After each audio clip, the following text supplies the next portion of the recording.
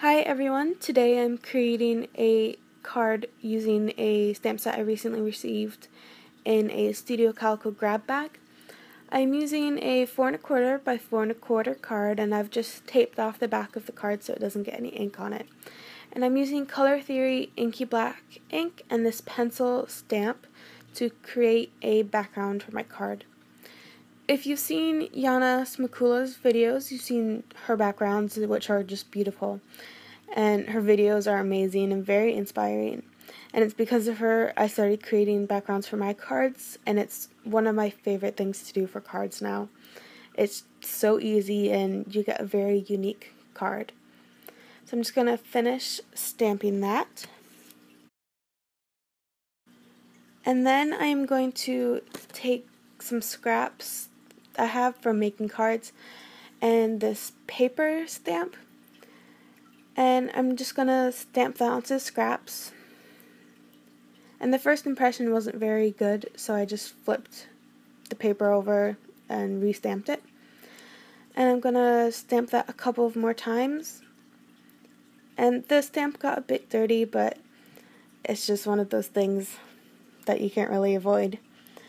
And I'm just going to fussy cut the paper out, and it's a really easy shape, so it didn't take too long.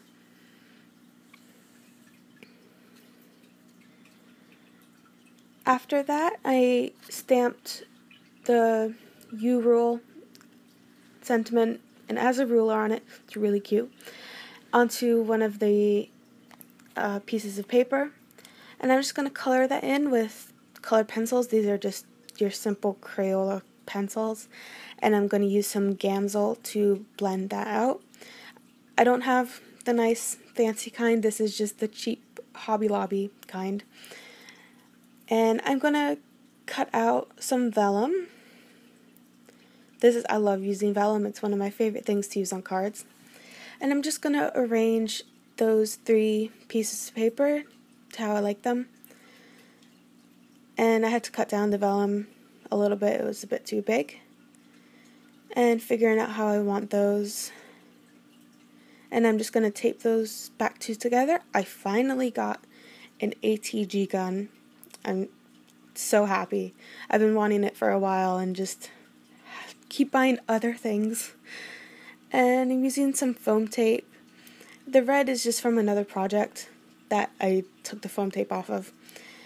And I'm going to tape that down onto the vellum and just squish that down and see how it looks. I thought about coloring in the pencils but decided not to. I just I liked the simple look. And I got some black sequins and some glossy accents.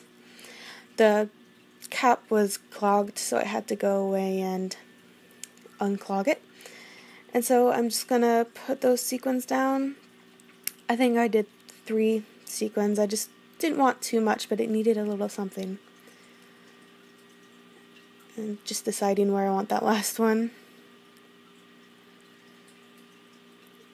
And after that, I just taped down the piece of vellum behind the little pieces of paper. And then I just had to cut off a little bit of extra vellum. And that's the card. Here are some close up photos of the card. I hope you like it. And I will see you next time. Thanks for watching.